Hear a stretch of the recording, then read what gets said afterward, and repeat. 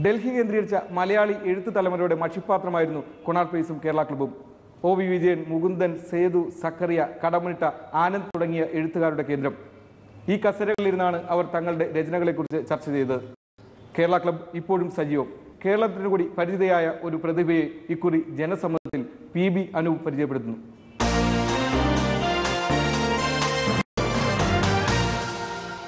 നഫീസ അലിയെ മലയാളിക്ക് മുൻപിൽ പരിചയപ്പെടുത്താനുള്ള എളുപ്പവഴി ബിഗ് ബി എന്ന ചിത്രമാണ്.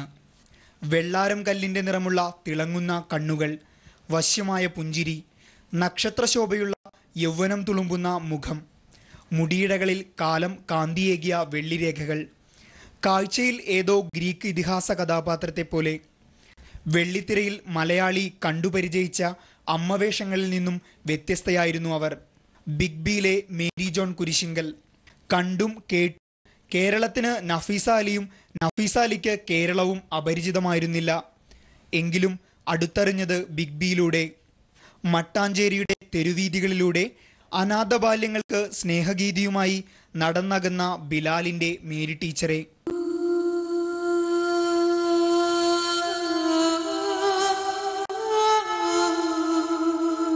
കേരളത്തിന്റെ പ്രകൃതി ഭംഗി കാണാനുള്ള ഏറെ നാളത്തെ ആഗ്രഹവും ബിഗ് ബിയുടെ സംവിധായകൻ അമൽ നീരദിന്റെ നിർബന്ധവുമായപ്പോൾ മലയാള സിനിമയിൽ എത്തുകയായിരുന്നുവെന്ന് നഫീസ അലി.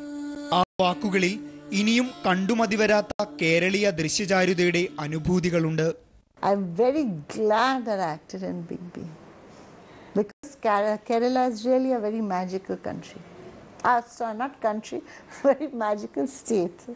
ക്യാമറയ്ക്ക് മുൻപിൽ മമ്മൂട്ടി എന്ന സൂപ്പർ താരത്തോടൊപ്പം ആരാധനയോടെയും അല്പം ആശങ്കയോടെയും അഭിനയിച്ച നിമിഷങ്ങൾ. ഒഴിവുവേളകളിൽ മമ്മൂട്ടിയുമായി ഇഞ്ചോടിഞ്ചു വിടാതെ നടത്തിയ ഇടതു വലതു രാഷ്ട്രീയത്തിന്റെ ചൂടേറിയ ചർച്ചകൾ.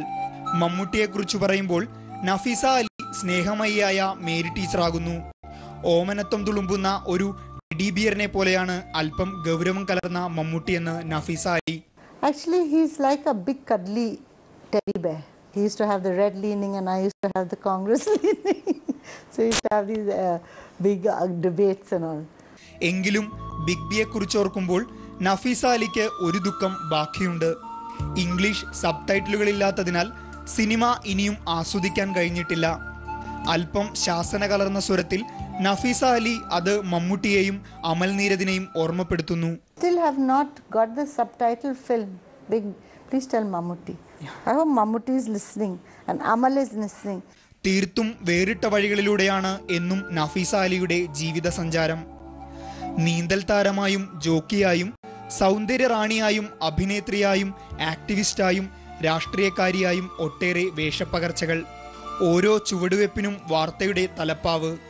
പ്രശസ്ത ഫോട്ടോഗ്രാഫറായിരുന്ന അഹമ്മദ് അലിയുടെ മകളായി പേരുകേട്ട ബംഗാളി മുസ്ലിം കുടുംബത്തിൽ ജനനം.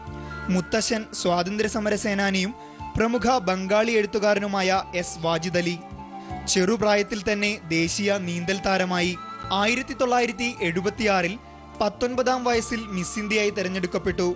അച്ചടക്കത്തിന്റെ ചൂരൽ തുമ്പിനു കീഴിൽ കഴിഞ്ഞിരുന്ന ബാല്യകാലത്തിൽ നിന്നുള്ള സ്വാതന്ത്ര്യ പ്രഖ്യാപനമായിരുന്നു പിന്നീടുള്ള കൗമാരനാളുകൾ മിസ് ഇന്ത്യ പദവി നഫീസ അലിയുടെ ജീവിതത്തിന്റെ ഗതിവേഗങ്ങൾ മാറ്റിമറിച്ചു. Miss India taught me to communicate with people. പ്രശസ്തിയുടെയും പെരുമയുടെയും നെറുകയിൽ നിൽക്കുമ്പോഴായിരുന്നു നഫീസ അലി സിനിമയുടെ വെള്ളി വെളിച്ചത്തിലേക്ക് കടന്നു വന്നത്. ശശി കപൂർ നിർമ്മിച്ച് ശ്യാംബനകൽ സംവിധാനം ചെയ്ത ജുനൂനിലൂടെ ബോളിവുഡിൽ ഹരിശ്രീ കുറിച്ചു. രണ്ടായിരത്തി ഒൻപതിൽ പുറത്തിറങ്ങിയ ലാഹോറും രണ്ടായിരത്തി ഏഴിൽ പുറത്തിറങ്ങിയ ലൈഫ് ഇൻ എ മെട്രോയും ഉൾപ്പെടെ പത്തു ചിത്രങ്ങളിൽ ഇതിനോടകം നഫീസ അലി വേഷമിട്ടു. ഭർത്താവ് അർജുന അവാർഡ് ജേതാവായ പ്രശസ്ത polo player R S Sodhi സോണിയാഗാന്ധിയുമായുള്ള അടുപ്പം നഫീസ അലിയെ കോൺഗ്രസ് പാളയത്തിലെത്തിച്ചു. രണ്ടായിരത്തി നാലിലെ ലോക്സഭാ തെരഞ്ഞെടുപ്പിൽ ദക്ഷിണ കൊൽക്കത്തയിൽ മമതാ ബാനർജിക്കെതിരെ മത്സരിച്ച് പരാജയപ്പെട്ടു. രണ്ടായിരത്തി ഒൻപതിൽ കോൺഗ്രസും മമതാ ബാനർജിയും കൈകോർത്തപ്പോൾ നഫീസ അലിക്ക് ടിക്കറ്റ് ലഭിച്ചില്ല. ലക്നൌവിൽ സഞ്ജയ് ദത്തിനു പകരമായി സമാജ്വാദി പാർട്ടി ടിക്കറ്റിൽ മത്സരിച്ചെങ്കിലും പരാജയമായിരുന്നു ബലം. ഏറെ മാനസിക സംഘർഷങ്ങളോടെ എടുത്ത തീരുമാനമായിരുന്നു അതെന്നും താൻ ഇപ്പോഴും ഒരു കോൺഗ്രസ്സുകാരിയാണെന്നും നഫീസ അലി പറയുന്നു. I was feeling hurt and let down and I just agreed but But my whole thinking, my principle, my philosophy, my aim for aim for India is on the Congress path.